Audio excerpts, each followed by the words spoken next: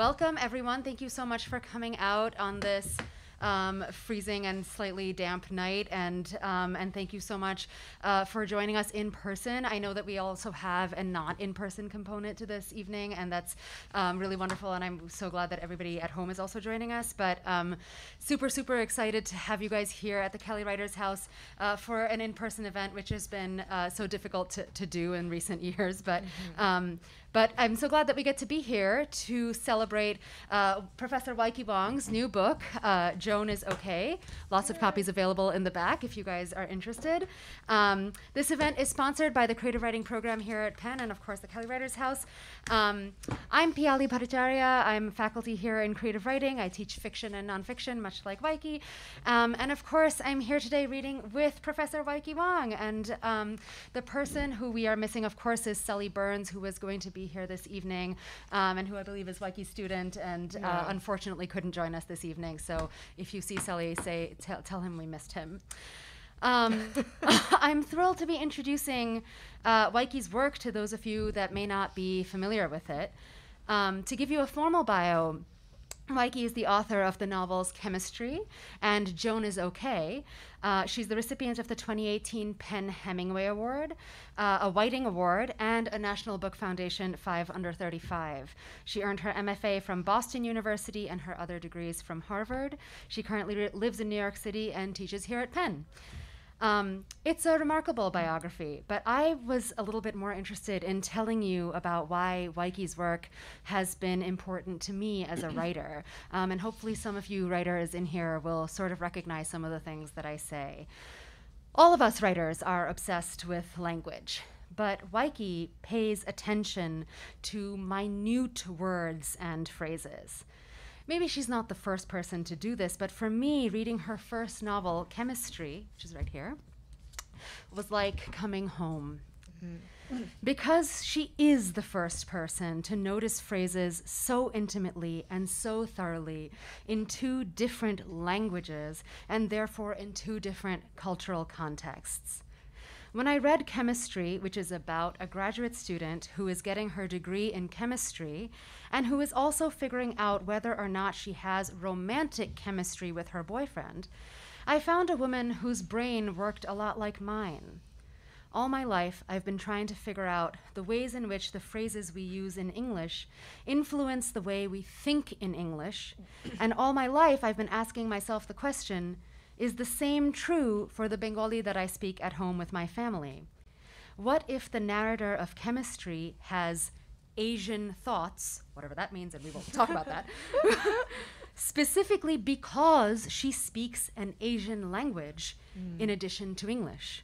Mm-hmm. How does she then express her Asian thoughts in English?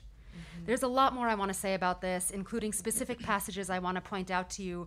Um, when Weike and I start having our discussion after the readings. Um, but Weike's attention to language is something I'll ask you to pay attention to as you listen to her read today. To talk to you a little bit more about Joan is Okay, you should know that Joan is a Chinese American woman who is also an ICU doctor in New York at the time when COVID hits the United States. To be this is already to be multiple things a Chinese woman at the time of the Chinese virus and Asian hate, a woman in medicine, which can sometimes be a contradiction in terms, a woman straddling being the daughter of immigrants with the ideas of immigration and assimilation themselves. These are not questions that are divorced from my own work and a lot of Asian American writers' work. And when we started talking about this event, Weike and I realized that we both have been writing about Asian Americans in medicine, and that we also have a lot of, a lot of other overlaps. Um, an obsession for trying to figure out why expressing bicultural self in a given form of language always feels like an act of incompletion and also an act of multiplicity a constant state of bewilderment over what it means to be an Asian American woman in a creative writing space specifically, and of course, our fascination with the things that we learn from our mutual students at Penn, which is you guys.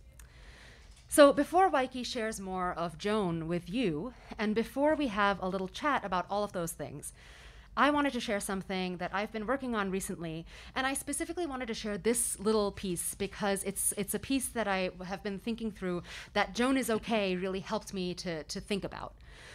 It's a passage from a novel that I've been working on that centers on South Asian American immigrants in New York, specifically a Bangladeshi American undocumented chef, an Indian American documented physician, and the restaurant that is owned by the doctor and where the chef cooks. But this passage isn't about the restaurant.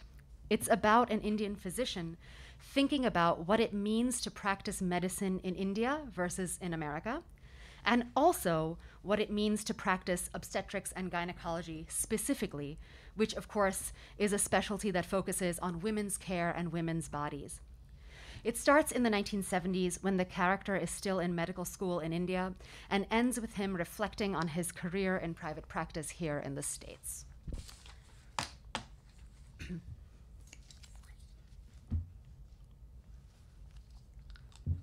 Water and mask, bad combination. um, okay. It was dark by the time Probir started his walk back to the residence hall, but he hardly noticed. All this time, he'd been so focused on dissections in the lab, procedures in the clinic. Never once had Probir actually seen a patient's face, sat in a room with them so that he might read their expressions as well as their charts. Surgery was thrilling and it could produce miracles. Still, those miracles would only ever be stalls for the enemy that was always coming. What then was the role of the doctor in the ministration of medicine and surgery? All of the medical college lecturers described the experience the same way. Patient comes in, doctor dispenses advice, patient gets better if he follows the rules.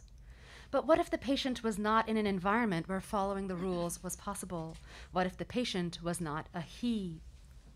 When he got back to his residence hall, Probir knew exactly which book to look for. It was a catalog of surgical procedures, each outlined in pragmatic terms, each drawn to depict male patients appendectomy, pneumonectomy, coronary artery bypass, male, male, male, as if women could never have these ailments. Frantically, he searched for the procedures that could only be performed on women cesarean section, mastectomy, hysterectomy. None of these were in the book. They were listed in a separate volume, a reader helpfully titled Female Techniques. That one was on his shelf too, and he reached for it, flipped through the pages until the illustrations were blurring in front of him. If he took anything to New York City with him, it was this the knowledge that he wanted to help, help women, help women in women's bodies. And then he was, in Manhattan, at Lenox Hill Hospital, if Probir thought he'd been soaking in bodies before, he hadn't seen the half of it. So many things were hard about those first years in America, but not this, not the bodies. The kinds of bodies Probir saw in those years, and the women. The sheer numbers and varieties. All the world lived in New York, and it made Probir realize that his patients up until then had been nearly 100% Indian. But the women in New York, their unfathomably complicated backgrounds, the stories they told about what they needed because of what had been done to them, what they had done to themselves, what they had endured, dangers and distresses, and just plain risks of a sort that Probir had rarely heard of. Stories from places Probir had only read about, and yet stories that felt so familiar because they lived in the universality of the body.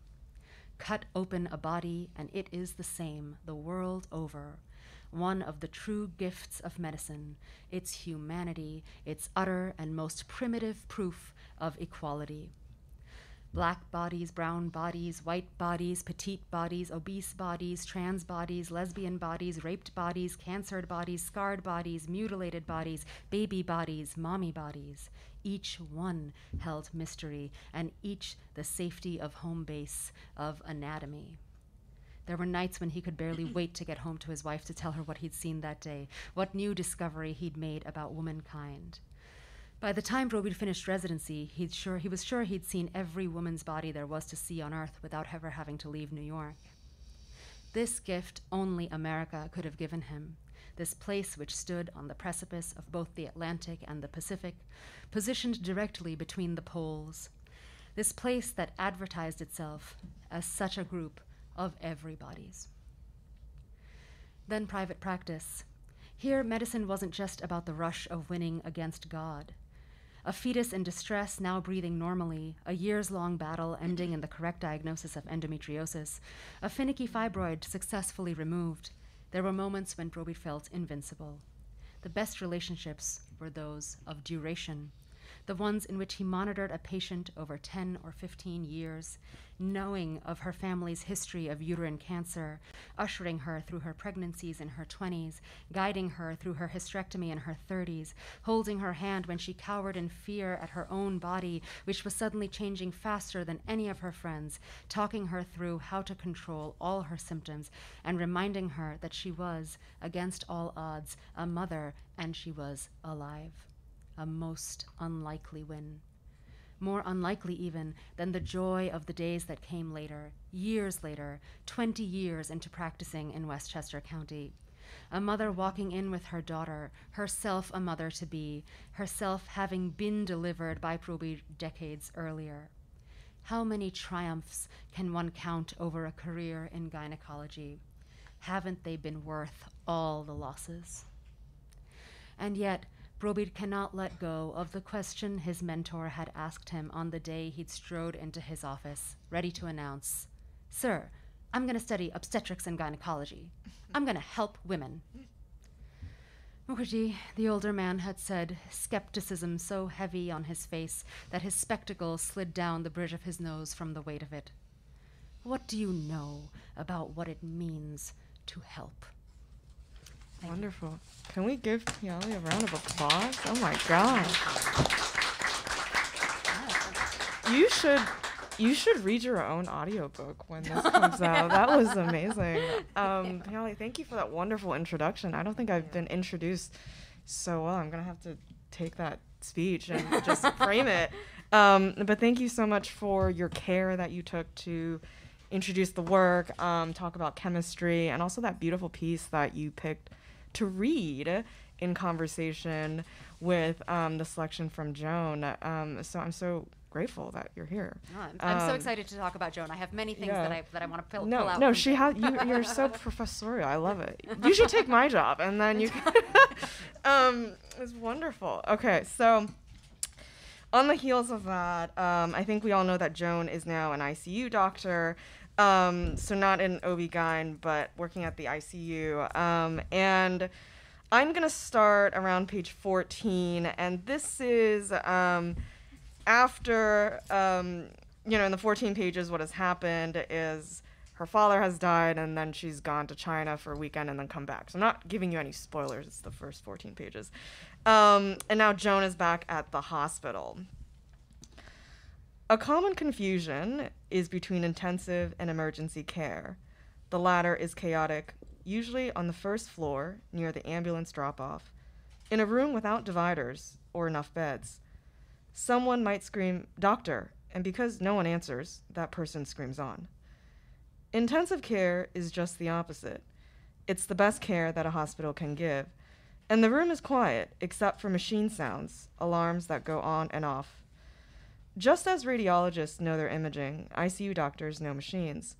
Ones that push oxygen into you, the almighty vent. Ones that clean your blood, dialysis. The pumps, aka drips, that deliver medication and sedation through a central line directed to the heart. With many machines come many tubes the endotracheal tube down the throat and to the vent for air, the nasogastric tube to the stomach for food, rectal tubes for stool, a Foley for the bladder, etc. Fluid control was imperative. Too much fluid in and the body would swell. Too much fluid out and it would desiccate. At my interview three years ago, the director asked why I chose intensive care. And I said I like the purity of it, the total sense of control. Machines can tell you things that the people attached to them can't, I said. I like that the sick didn't stay with us long, but for the stunt that they do, we give it our all. A sprinter, I described myself. The idea of longitudinal care was not for me. My director praised my honesty and offered me the attending position right there. More so than any authority figure I'd ever met before, he seemed to believe in me and agreed with my point about machines. From then on, we knew that we were a match. I knew that we were a match. In any specialty, an attending is expected to lead and guide her interns and residents along in their careers. To become an attending, I had trained for 12 years. The job was to teach machine readings, and a question I liked to ask was how is this patient interacting with her machine? What's the dance there like? If a patient fought, machine and patient became desynchronous. If they danced, the two were synchronous. Usually the patient fought. Our innate drives to breathe and to dance alone are strong. I taught, on average, three to five hours a day. The other hours were spent supervising. Procedures that I did in half the time pre attending, I watched someone else do in double. If learning required mistakes, then teaching required watching different people make the same mistakes. Teaching was, was, teaching was relentless deja vu, but grounding. It cemented the idea that we are all the same. Height and weight did not matter, and the possibility of failure or success for anyone was never too far off. To streamline the instruction process, I had a habit of printing double sided handouts. And during, during morning rounds, the sound that I waited for and enjoyed most was that of my eight person team, the pharmacist included, turning their pages in unison and on cue. The sound reminded me of the wind, which reminded me of being outside, which I currently was not. At my first year review, the director asked if I liked my new role here. I said I did. Did I respect my team? I said I respected them on more days than not. He commended my honesty again. Anything else he could help me with, anything at all. As part of my hiring package, I had been given my own private office, but I didn't like how it echoed, or how far I had to walk from unit to office, cafeteria to office, office to another office, wasting time. A smaller, more centrally located space comes with people, the director warned, as in you would have to share it with your colleagues. And is that what you want? I said I would like to try. Soon I was relocated to a shared office with other attendings. The hospital had hundreds of doctors, but only 10 or so for three ICUs. To my left and right sat Madeline and Reese. Before I moved in, they had heard things about me, all true. The private office went to an older cardiologist who also wrote philosophical books about death. I tried to read one, but put it down. The books were too thick, with indexes alone of a hundred pages. Death was inevitable. I didn't know what else there was to say. How was China? Reese asked Monday morning when I had returned. He was heading to the surgical ICU as I was going into cardiac. We were passing each other in the corridor meant for equipment. I relayed my cousin's message that the country has changed. Buildings were taller and fatter, as well as the people. Obesity would soon be a problem since food was ubiquitous, along with very high tech phones. Everyone had a phone, and everyone paid with their phones. The economy was cashless. But how's your family? I mean, I asked why he wanted to know that. You never talk about them, he said, and then this terrible thing happens. I keep wondering if you and your father were estranged. Was there a small, teensy generational or cultural gap? To illustrate how teensy Reese brought his pointer finger a centimeter away from his thumb. I said my father was entirely supportive of my path. And who wouldn't be? said Reese, standing with both hands on his waist, above the belt, in a pose that he called his power stance. Great paths, both of us. Not many people can do what we do. But put another way, what's your fondest memory of him, your father? I started to say something, but then forgot the memory and the rest of my thoughts. No wonder, Reese said. No wonder what? He didn't tell me and then quickly changed the topic.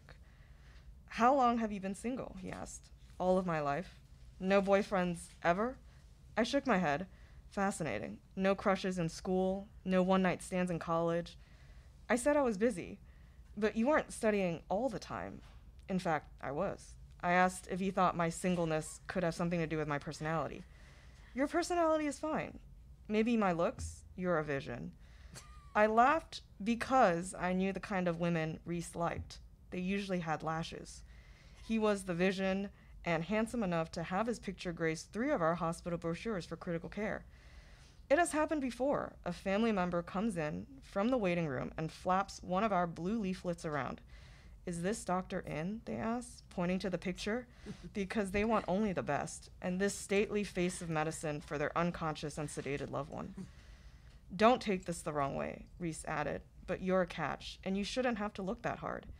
Any guy would be lucky. Not me, unfortunately. We know each other too well, and I'm madly in love with Madeline. But let me know how I can help. Here was our motto, as it, as it was in any ICU. Are you suffering from ARDS, sir, madam? Because if so, we can help. What is ARDS? Yes, sir, madam, we understand too many acronyms, not enough time. ARDS is acute respiratory distress syndrome or severe inflammation of your lungs. Thank you.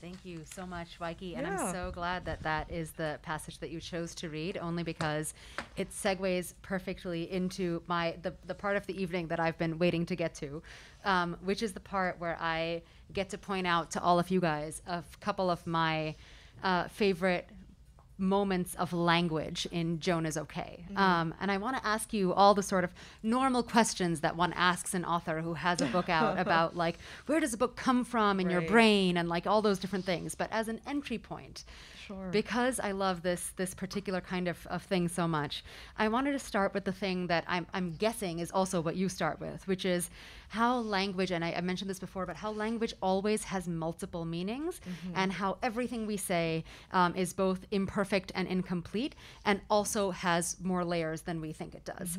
Um, and I just want to point out two little things from Joan um, that, that I wanted to talk to you about. So the first one is really, really early in the book. It's just on page six. Um, and this is where our uh, protagonist, Joan, is about to go to China because her father has just passed. And, it's, and he's there, and, and she needs to go to the funeral. And, and, you know, it's a very sad moment for her. Um, but she doesn't tell her colleagues why she's going because it's none of their business. And um, this is how they react. They asked where I was going, and I said China, but just for the weekend. Then I turned from them and started packing my things.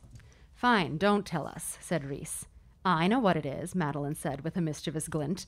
You're off to get married. You're going to elope.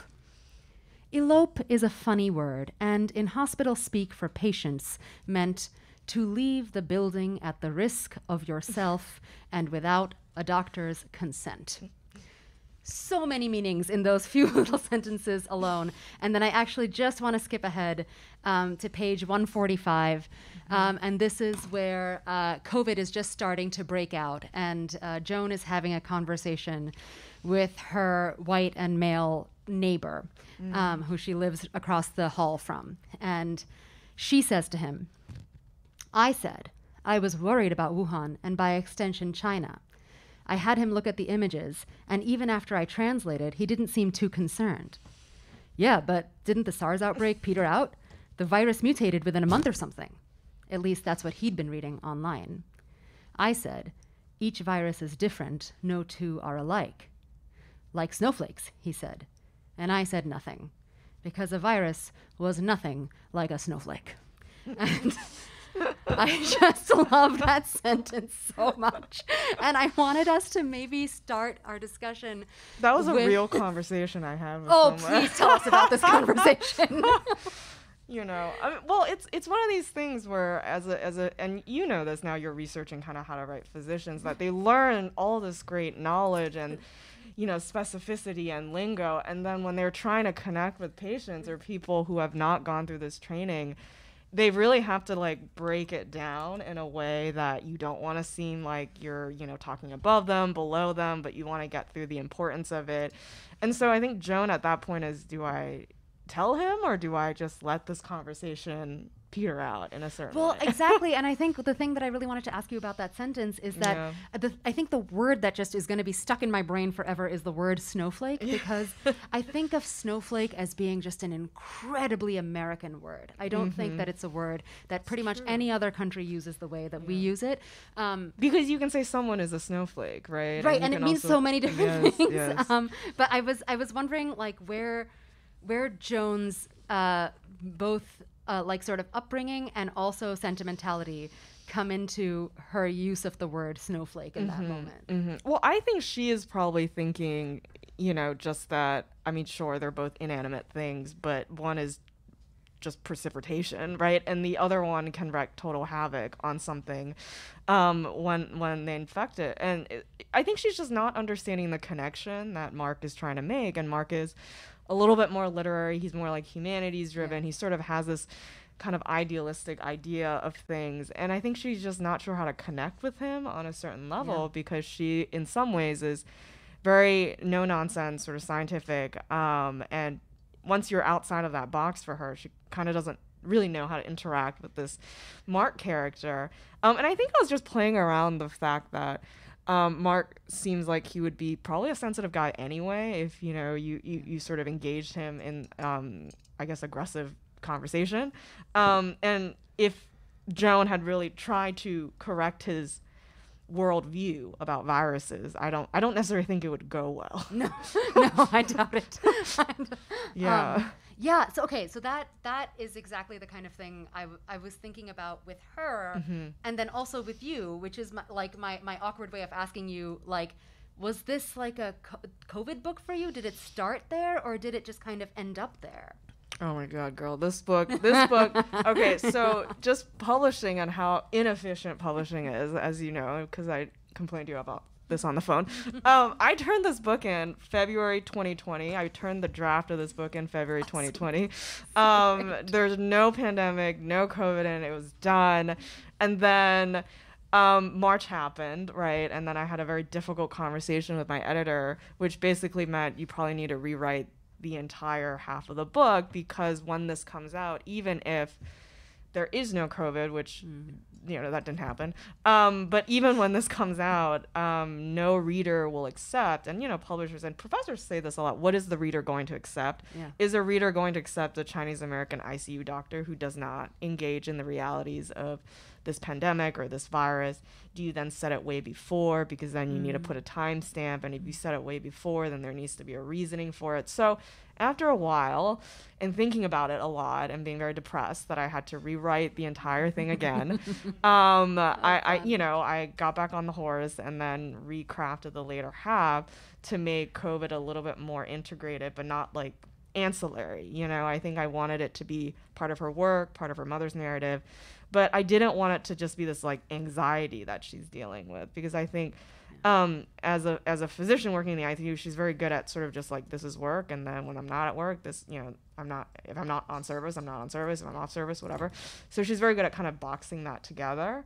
Um, but it was hard. I mean, I think I was I wanted to give up on this so many times since you know, writers and if you're writing about the pandemic, you never know whether it's going to take over the book or Yeah. not be enough, right? I mean, I think writers after 9/11 were dealing with that too. Absolutely. They yeah, didn't yeah, know how to incorporate that without It's, ju- uh, it's too huge. It's like, too how do you- huge. it, there's nothing you can say that people aren't going to be like, well, clearly she's talking about COVID. You right, know? right, like, right. so- So it's like, how do you talk about it without making it the core of the story, right, right? right. But also acknowledging that this story has to be there. Yeah. That's fascinating. So, like, okay, if I can ask, then then what was the core of the story for you? Mm-hmm. In if I had asked you in February of 2020 when you were panting in that first draft, where did that story come from then? Well, the story came from just writing um, an Asian American female doctor because I'm just fascinated by women working in certain fields, um, especially male dominated fields like Yeah. STEM. Um, I think Asian Americans probably represent like 25% of the health force, to be honest, right? Um, and I don't necessarily think they're featured in any sort of media, fiction, things like that, in a sense, or even on TV, like on commercials, you know, and brochures. or right? any of the TV doctors, Right, like right. all the all the doctor shows. Where are the like, Asians? you know, yeah. the main protagonist, right? The protagonist who's saving lives. You know, they never center their story on that, and I feel like sometimes the character like Joan is always the flat peripheral character you know who's funny in a scene but then like you forget about her Yeah. you know the, the the the main character has the real journey or whatever i mean grey's anatomy has been going on for 16 years right she is still where are the Asians? yeah, she's still working in that hospital. Um, so I think it was the fr- frustration of, of of sort of seeing a lot of this, and I was pre med for so long, and then you know I did my rounds in that kind of field, um, and now most of my colleagues are you know in their fellowship or whatnot. Um, and I think they, they are seeing sort of some of the sense of being replaceable, but also being told you have to step up and do the work, but you're also replaceable. Um, and it was that narrative I was trying to get into the story. Um, her exit from the hospital was not as streamlined without you know the working some of the other stuff in there, but it was the same story. It just I I needed to get the mechanics of it. You know, writing is a lot like surgery. Like you don't care about you know the longitudinal kind of like trajectory. You care about how it's gonna work, right? Totally. Totally. So it was just like taking the guts out again and then figuring out how to connect the you know connect everything together.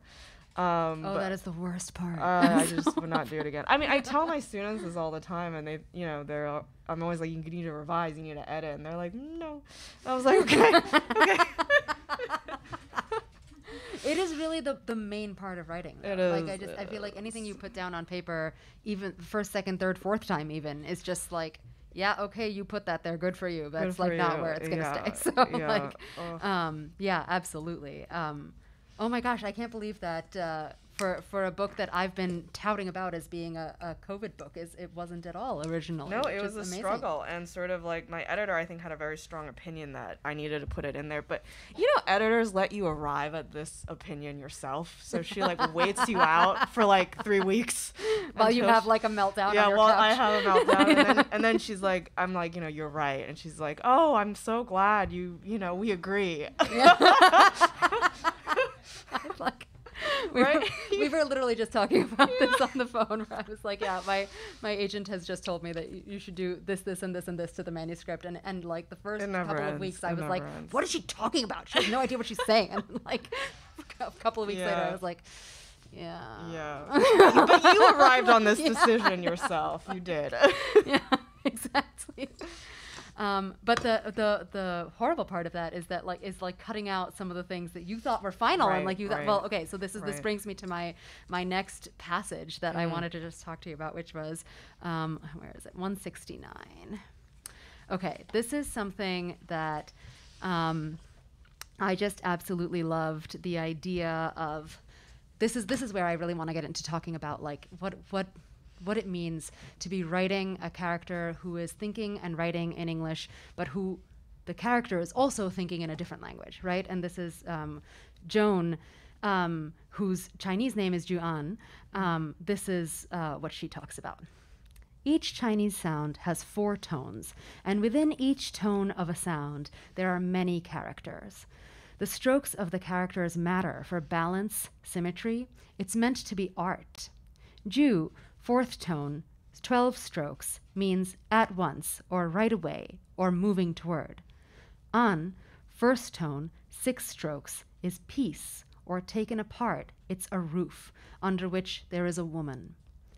What this woman does, no one really knows. She might be happy or sad. She might be hardworking or indolent. But put this woman in a house, and you will have serenity and ease. Juan, or just peace, or simply a woman in a house. There's so much going on in these few little sentences that have to do with gender, gender in China, gender in English, gender in Chinese. Like, the, what what is going on here? And um, if you guys have the book, I encourage you to open to page 169 only because it's very worth looking at what the characters actually look like, and, and they are in the book. Um, and when she says uh, it, taken apart, it's a roof. It's literally like a little roof, um, and it's it's just a beautiful. It's just a beautiful meditation in English on a Chinese word. Right. I mean, I think um, I had a lot of trouble coming up with the name of this character. I needed a character where I could, you know, my first book didn't have any names um, because of just with names come sort of identity issues and whether you wanted to get into that or not. And I, I didn't necessarily know I wanted to get into that. So with the second book, I knew. Um, I wanted to name the characters because it can help, you know, having named characters. Um, and with Joan, I wanted it to be a simple name that it was very easy, you know, in English to write, but also you could there would be a Chinese version that would be also very easy to translate. It might not be, you know, the most beautiful or fancy um, Chinese name, but it would be interchangeable. And the reason I did this is because some of my friends are, you know, having kids now, and they're kind of thinking, what should I, what should I name this kid? I want to name this kid someone, something that can translate into this language, but be also okay in this language, and then I can find some characters and some overlap. Um, and sort of, a, that's really hard, you know, to find names that are overlapped um, and kind of have a similarity. And the way that I learned Anne as a character was just like this. My teacher, or you know, I guess my mom, was like, "Here's the house, and this is the woman in the house." And I was, and I think as a kid, I was like, "Why is the woman in the house?" And she's like, "She's just She in the house." um, and so I But think also, women are in houses. women Like- always are in houses. Yeah. Why not? Um, so, so the way that I think I memorize characters and learn characters is just kind of like telling that tiny story. Not every character has a story, but Right. this story really stayed with me just Yeah. because it was like, you know, you you could have a woman in a house and it would be peaceful, but then. I don't know, like look at Jane Eyre and Bertha in the Mm. house. She like try to burn it down, right? So like not super peaceful, but but I think that kept coming back as like oh Bertha is my favorite woman in my favorite I- house. it's great. She's the best woman in right my house. and total contradicts this character you know Yeah. so I, I think at every moment this kind of remembering that story that i learned to learn this character has sort of been an impact Mm-hmm. um, and i just knew if i can create this character and make it into a name it would be easy to kind Mm. of have a significance to that so Do you mind pronouncing the name for us? Because Oh. I'm sure I didn't do it. no properly. it's fine Joanne. John. Okay, cool. Um, I just, I, yeah, I, I love, and I'm, I'm, I hope we get to talk more about that because I just, I love the idea that like the, the Chinese characters can be a part of the retelling of the story in English. right. Like that just is something where I feel like I'm, all, I'm always at the intersection of that, and I'm always kind of being like, how? How do you do right how do you translate it right Um, speaking of which, I was wondering if I could ask you a little bit about like what it. So you've been at like in a science space. I know your degree, uh, your undergrad degree was in chemistry. You also have Yeah. an MPH. You uh, also have an MFA. Um, can you talk to us a little bit about what it has I meant? actually went all the way stupidly and got a doctorate in epidemiology. Can you imagine this? And I thought, what's the use of epidemiology? So, you know, like eight years ago or ten years ago, and I thought, oh gosh. Um. So so yeah. Um. I think it was kind of a very slow transition into writing. Um. I you know chemistry. I did an undergrad in chemistry. Um. And while I I think it was very you know I learned a lot. Um, I think had I been at a different school, I probably would have just gone to grad school for uh, chemistry and been probably perfectly happy.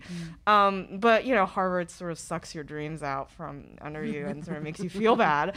Um, so that was four years of like an undergrad degree in a lab that was really intense and sort of made me real rethink basic science research. And then I thought, do I want to be a doctor? So I sh- shadowed this cardiologist for two years as a clinical researcher, and that didn't go as well as I thought it was gonna go.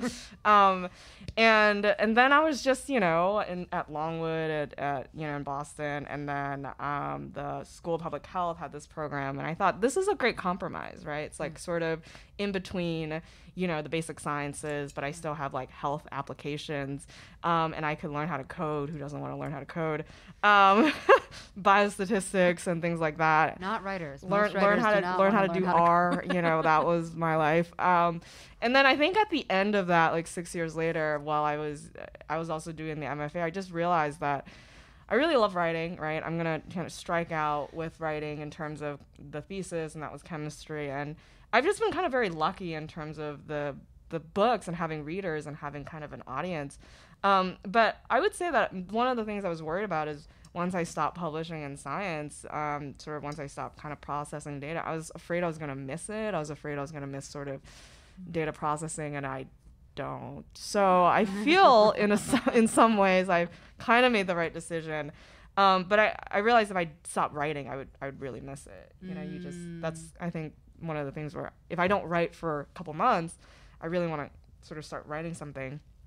But if I don't code for months, I'm, I'm not I'm not like missing it. Yeah. well, and how much of writing is processing? Right, There's right, also that, right. which a different kind of processing for sure. But Right. like, um, there's this great essay by I think Pam Zhang wrote uh, that uh, walking is writing, Right. And making bread is writing, and 'Cause you're taking a thinking bath is about it. writing. Yeah, and it is. But and it's it- and it also a terrible thing because you're thinking about it all the time. Like Yeah. a lot of the times with other things, you can just step away Uh, from and it. And it's actually over. It's Writing is never over. over. it's, it's never over, and you're problem solving in you know in the middle of the night and Totally. things like that. Yeah. Totally.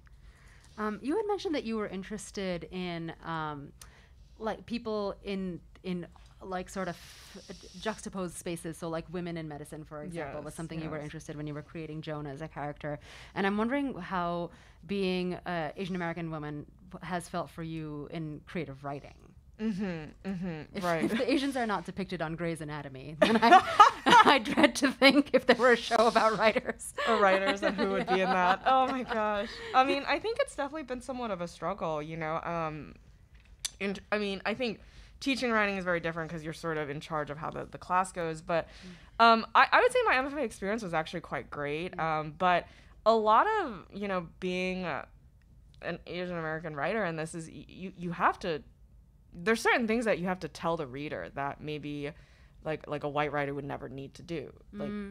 my mm-hmm. characters are white instead of mm-hmm. you know my characters are asian right so the the thing is there's a lot of explaining that you sort of have to kind of embed into the story Thank you. Oh my God, I talk about this all the time. How do you do this with economy? I don't I don't know. I mean, I think I just edit and then put stuff in and edit and put stuff in. But I think sometimes, you know, when I'm teaching and I have to convince the student you have to do this, they get I get a lot of resistance, right? Because I'm like, if you don't tell me the identity of this character, I'm gonna assume it's the dominant culture no matter what. Um, just because it's like the odds, right? Um, and I'm never gonna assume that if you're a certain identity, you're gonna write a character of a certain identity. That's the worst assumption. Um, so sometimes with being, you know, a minority person in writing, you, you just have to kind of think about what do I have to explain, what do I not have to explain, right? Honestly and it's Yeah. such a it's a, it's for me at least it's a process of deletion right, Right, because i tend to i like i realized that i i don't know if this is the case for you but i tend to write really long Mm, and i realized that part of the reason why i'm writing so long is that i'm just explaining so much of my character along the way that like Because you're worried that I'm the, so the worried that nobody's gonna get it. no like, and then it's it. only in the second draft that I'm just like, Yeah. Mm-hmm. okay, but what is crucial? Like, which is the crucial sentence that they need to know in order to know about this dish or this whatever Right, moment, or, you know? Um, Um, and I, I do think it's actually important to explain it because, you know, I've heard the argument, well, if you don't explain it and you just put it in there, the reader's going to look it up. P- probably not. The reader will probably just put the book down, you know, Yes. because they're going to be confused. So And bored. and, bo- and bored, and they're going to be like lost, or they're going to feel insulted. So sometimes it's a balance of what do I have to describe, right? Like in here, there's this dinner scene where you know her mom makes her zongzi, and I'm thinking, yeah, sure, you could Google that and figure out what it is, but it takes me like you know one line to explain what that is to a reader, mm-hmm. and maybe that's helpful, and maybe that'll actually encourage them to look into this. And I know in some ways. You know, certain writers don't have to do that. You, like with lasagna, no one's sitting there. at Lasagna, it is a By the way, multi-layer, it is a multi-layer Yeah. sauce pasta, right? No one has to do this. Or mm. French food, or like certain kinds of Italian food that's so ingrained in American culture. You never have to explain it.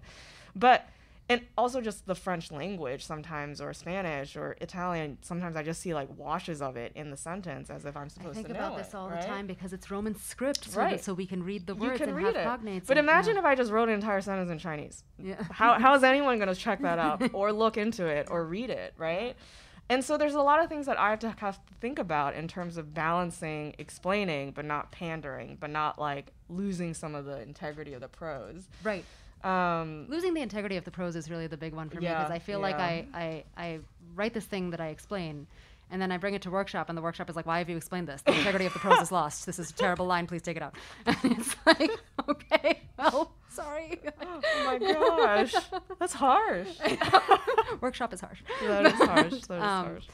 But yeah, oh my gosh. Um, well, um, I my last my last question for you Sure. is uh, is just about about teaching and how how has teaching at Penn been for you and how has it affected Joan uh, or, or affected anything else in your writing life? Um, well, teaching is always sort of this mixed bag of kind of, you know, I, I- I think it's very generative in terms of meeting the students, seeing what they're doing. Um, I think some of the, some of the things like when I read their work, I sort of get a sense of like contemporary readership, which is really nice, right? What they're reading, what they're interested in, um, and what they're what they're concerned about, right? And what they're concerned about their characters.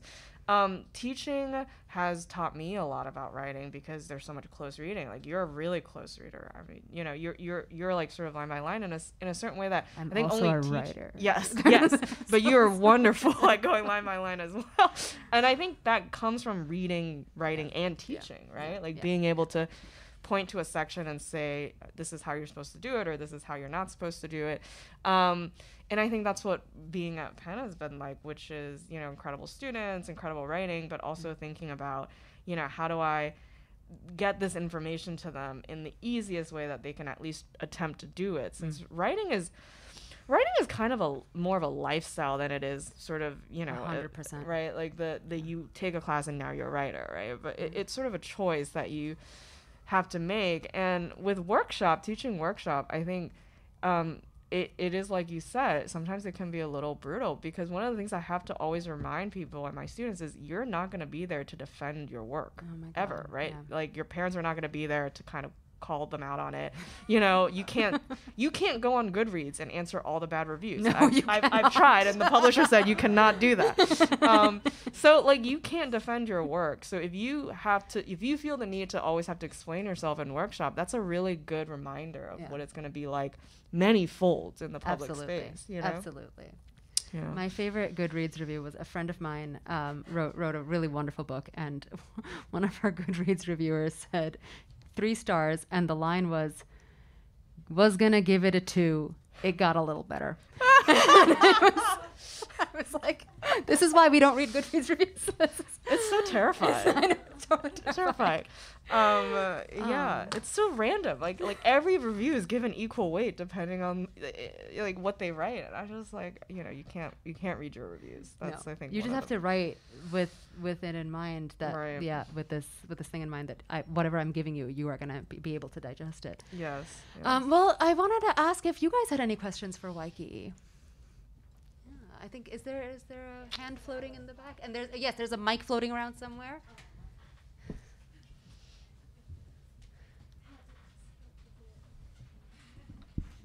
Hi. Sorry, I had like two questions. Yeah. Sure. That's all right. I think one is like more logistically. I was wondering like obviously this has a lot of like technical factual stuff in it and because you have like the degree the background like science and chemistry and epidemiology um, i was wondering like did you have to go out again and do research like interviews specifically for this book or did you were you able to kind of like rely on your own background and knowledge Um, so I had never rounded in the ICU. I rounded more in cardiology, so uh, or internal medicine in the wards. So I think I needed someone to take me to the unit. Um, and I had, luckily, you know, a friend who is an ICU doctor at Columbia who let me round and touch ECMO. like no one was attached to it, but I was, you know, um, able to meet ECMO.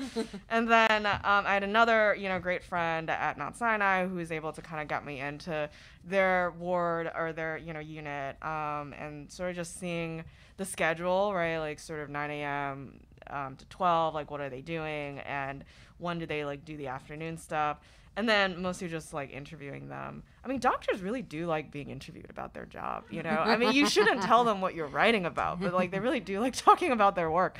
Um, so that was pretty easy that you could kind of get them to talk about what what do they see mostly, um, what kind of, you know, what kind of procedures they're doing. Um, I think ICU doctors like talking about their procedures a lot. So machines and things like that. Um, and so I did end up talking to a lot of people and sort of just a little bit of my own background knowledge. But once COVID started, I, it was really hard to get back in there. So what I did at that time was YouTube is great. I think there's a lot of people who are filming things and what a day is like during that pandemic period.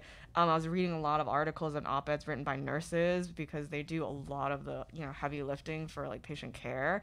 Like the doctor's the architect, you know, the nurses are sort of like the, the soldiers and the NPs and things like that. Um, so it was it was nice to sort of see a collection of that, and I did quite a bit of reading of like personal essays and you know watching videos and watching YouTube and just like getting things right. But like with all research, you don't use all of it. Like if I put in all the research I knew about the ICU, this would be such a boring book. It would just be an ICU manual, and there are already lots of those. So um, it's like putting it in and then taking it out. Yeah. Yeah, of course. because I, th- I think it is. Uh, I was also wondering, like, I really love what you said about how, like, even though, like, writers, they are not necessarily writing the race or, like, identity that they're from. Yeah. And it's kind of like, as an Asian American writer, like, a lot of my characters look like me, Mm-hmm. but I also want to be, like, cap- capable of and like be allowed to like write characters Totally. of like different races and identities but because like your last two books like Joan was okay and chemistry were like both like asian like chinese american women Yes, or like yes. asian american women i think Mhm. i was wondering like how do you balance that and do you in your like do you ever like write a lot like of these other like characters and stuff? Um, that's a great question. You know, I think um, I don't just because I feel like I have this like personal responsibility for it's like representation is just a heavy responsibility. Um, so, um, I mean, you know, there like Stephen King is not going to write a Joan character, right? So I, I sort of feel like there's there's kind of this this sort of burden to write a character like this as well. Um, because you can only do a book once, and you only have so many books left in your career, right? Um, and you can only publish like so many times, right? like- so many ideas, you know. And sometimes you put all of your energy into this book, and there there is this desire to be seen, um, to sort of kind of write a narrative that you think has nuance to it, to sort of contribute to a canon that's maybe not like like the Western traditional canon, right? Um, and I mean, I I, th- I think you know. Um, currently, I'm not writing sort of other characters unless I'm kind of like there's a reason that I want to do it, and also I just want to do it well. And sometimes, you know, I, I feel like if I go into another sphere, it's a little bit more research. I have to do it well, and then I feel like I'm not living up to par to to maybe certain issues in you know in that identity that I just don't know about, right? So. Yeah, of course. Uh, hi. So on the topic of like the weight that you feel as an author, Yeah. how do you think about uh, breaking down versus reinforcing stereotypes with your writing? So I completely agree. There's like a lack of like Asian Americans in a lot of media, but Yeah. also the ones that are in media are like doctors and engineers. So how do you think about that?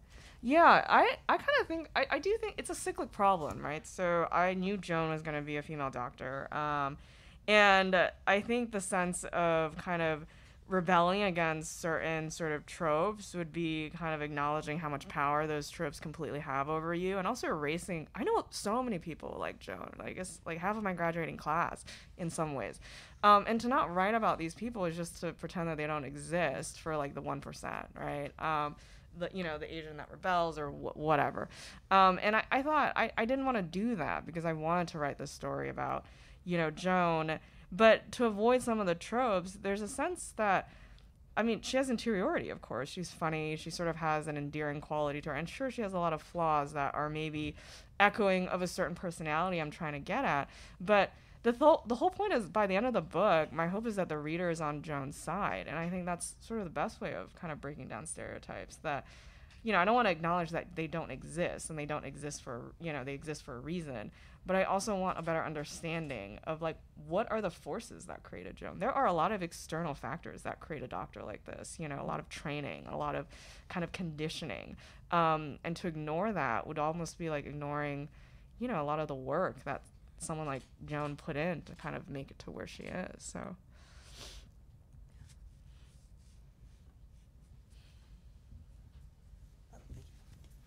Hi. Um, I was just wondering, you both mentioned earlier on in the conversation about biculturalism and what that means in your works. Have either of your works been translated into the languages of the characters you speak of, whether it's Bengali or Cantonese or Mandarin?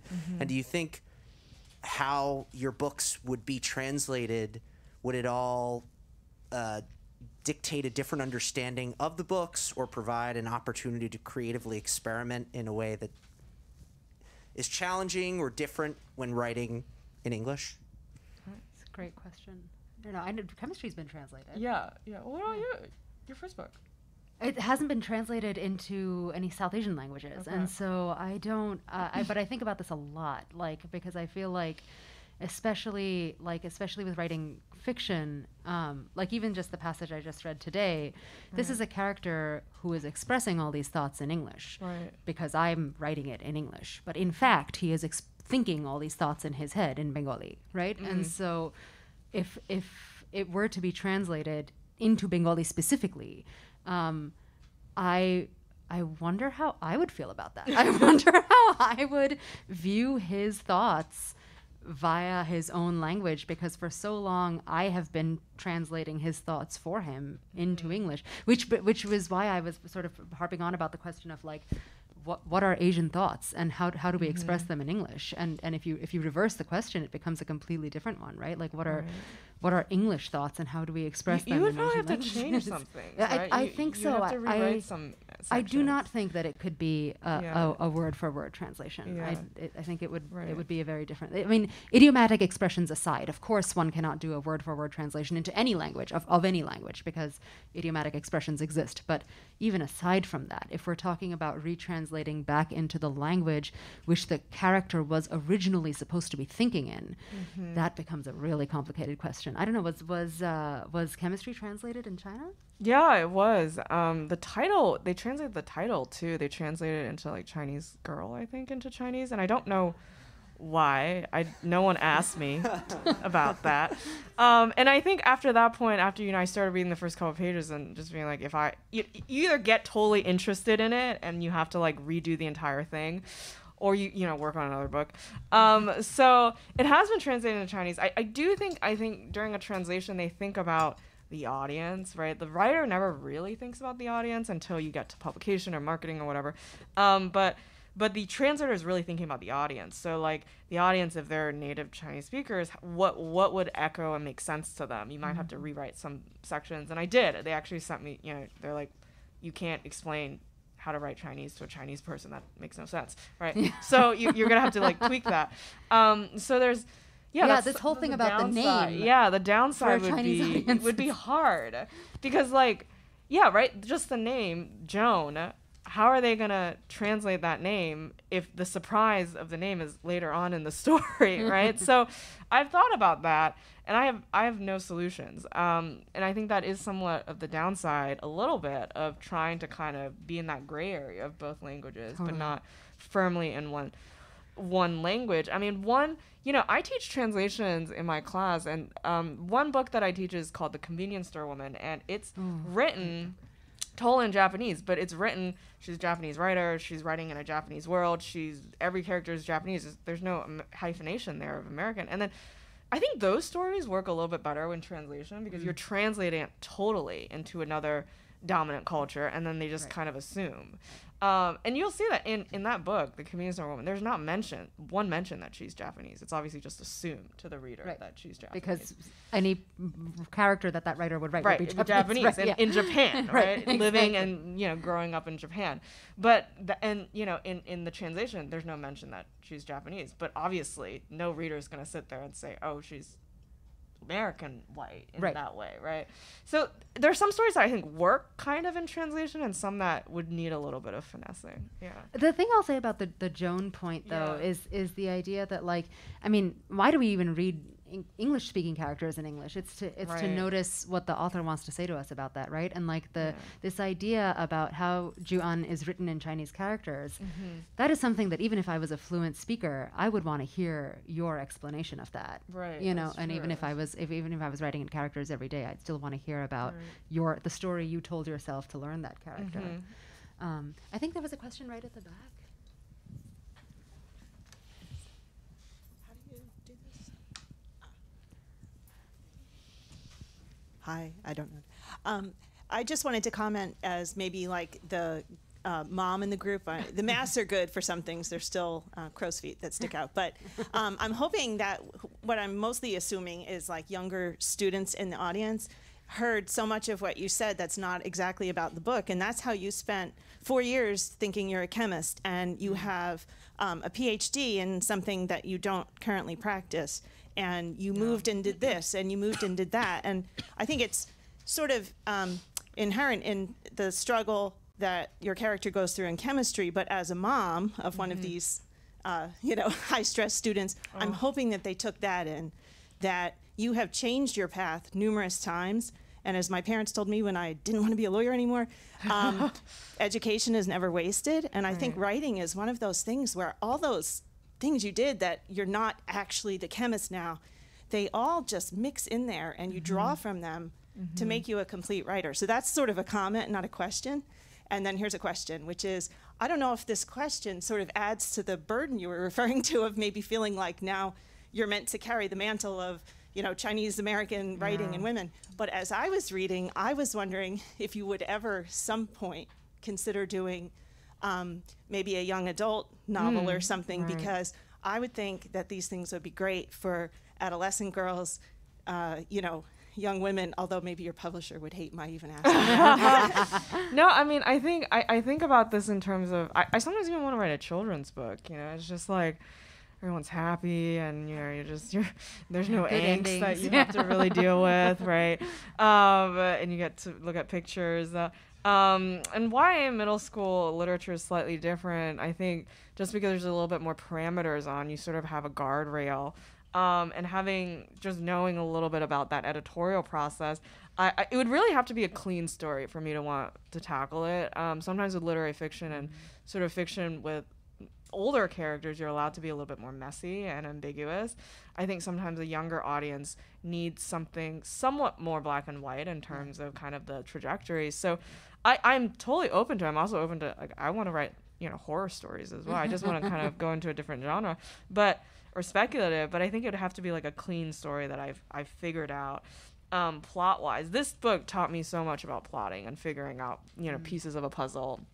And hopefully if I have a good more plot driven story that also has great characters, I can kind of try other um, try other writing styles and other genres. Um, I, I'm I'm open to it. I'm certainly open to it. Um, and you know, YA books sell so much better than literary fiction. So that is also another reason. Huge reason to do it. huge it. reason to do it. Yeah, absolutely. yeah. Do we have time for maybe one more? Anybody?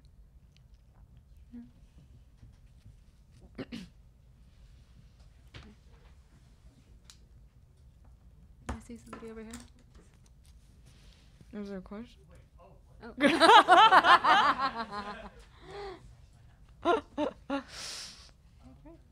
I think we're good. Oh, it's Oh, okay. no, oh, we, do- There's also one up here. There's, yeah. Uh, my question was just um, I felt like uh, I think someone made a comment that chemistry was very um, was uh, octofishes in a way that you kind of applied your own experience in chemistry to the character. And I haven't read this book yet, but I mm-hmm. I'm, I feel like the voice in this book is probably a, like a, a stronger kind of version mm-hmm. of the voice in chemistry. I'm not sure, but yeah. So I was wondering if when you wrote this character, you kind of in your head, maybe unconsciously or consciously, kind of progressed from the character that you wrote in your last ca- last Yeah, book. I mean, my editor actually said this after mm-hmm. you know it started launching that this is kind of like a big sister voice in some ways. Mm-hmm. But mm-hmm. sometimes I, I feel like I really just monopolized like three of my friends and put them in this blender, and then neither of them will own up that this is how they work and think. But you know that that was kind of the stronger characters. This voice, I just knew this voice really well. It wasn't my own voice in the same way that some of chemistry is sort of blended with my own anxieties. This one, it was kind of just like you know how do you talk, what do you talk about, like et cetera, et cetera. So um, yeah, it, it was a little bit more of like a reaching out and figuring out that voice. I love that. Last question up here. Um, my question's kind of similar. I think you answered it to a certain extent, but I was wondering, um, how did Joan, the character, come to you, and what was that like? Um, just processing her and beginning to understand how she Yeah. wanted to be written as a character. Um, so you know, contrary to the second half of the book, which went through so many facelifts, the first part of this book did not. Like the first scene where it was, um, the first sentence. When I think about people, I think about space, how much space a person takes up, and how much use that person provides. The utilitarian aspect of Joan came to me right away when I read that sentence, or when I wrote that sentence, and that title came to me because I sort of knew that name and knew the translation pretty easily. Um, so that was actually the, the character of Joan kind of came to me pretty quickly. Um, I'd been sort of dealing with kind of a character like that with in a friend group, a, a- in a story, and I was like, why don't I just put this character in a novel?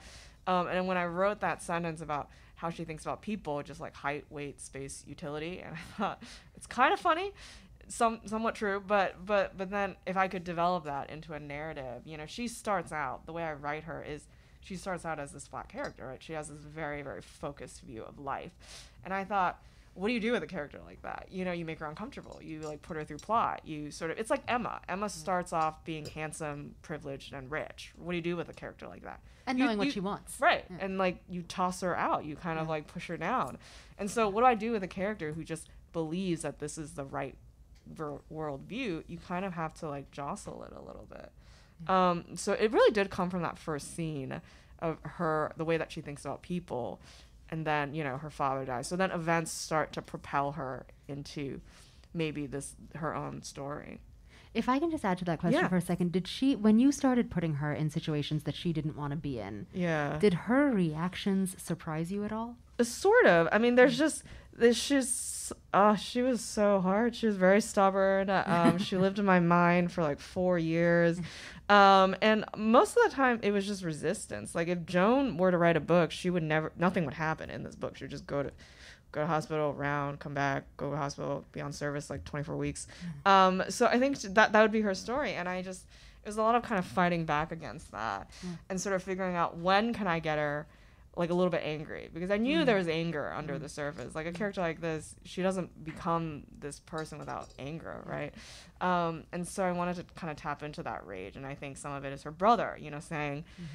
You should marry someone because, like, now your career's done. You should probably marry someone. And uh, y- um, people at work thinking that, oh, well, she got promoted because diversity when maybe she's just like doing her job um so things like that i was trying to kind of get a little bit get it getting her a little bit uncomfortable and angry that she would sort of have a moment of just like stop you know stop stop messing with me Yeah. in that way yeah Well, I'm really excited for you guys to meet Joan, and in the meantime. Weike, I think is going to sign some copies Yeah, for I'm us if you guys um, are willing to get in line. Is that is that here? Is that at I the table know. back there? Um, Writers House people, but can we give Weike a round of applause? Yes, thank you. thank you that was so great Thi- this is my only in-person event for joan it's like amazing. I've no, I haven't had an in-person event. We for are so It's been, lucky. it's This been is so exciting. Zoom the whole time. So, thank you guys. Writers House is a magical place.